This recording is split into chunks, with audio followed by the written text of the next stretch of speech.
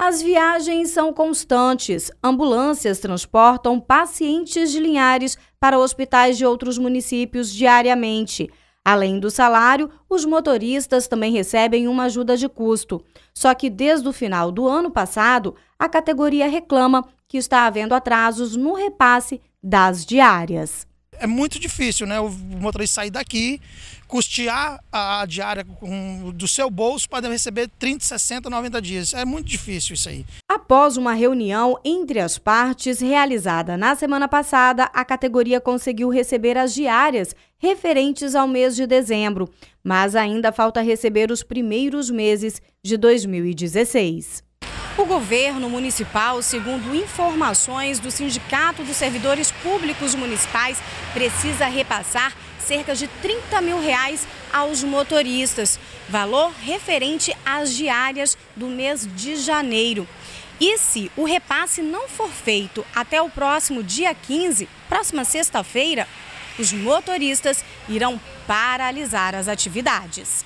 Caso realmente haja a paralisação, o setor mais afetado será o da saúde. Com isso, muita gente que depende do serviço público para se deslocar para hospitais de outros municípios pode ficar sem ambulância. Para a gente que precisa, fica ruim, porque não só aqui em Nias, mas vem pessoal do, das, do interior, procurar, igual já hoje mesmo, a pessoa procurando a pessoa que morava em Jacupemba, para poder, o bebedouro, para poder levar, a ambulância para poder levar. Então fica muito ruim. E porque muitos pacientes daqui vai para o Hospital de Santa Rita fazer tratamento de quimioterapia, né?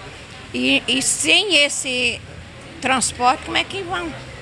Que nem todos têm carro para transportar os seus pacientes daqui para lá. Então as ambulâncias é muito necessária. Já seu José é a favor da paralisação. É um direito deles, né?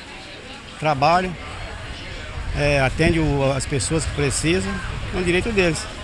Estão certos. Nós temos um compromisso agora até o dia 15 de abril. A partir do dia 16, não tiver o dinheiro na conta, infelizmente a população vai pagar esse preço. O vice-presidente do sindicato informou ainda que o transporte de pacientes aqui dentro do município não será afetado.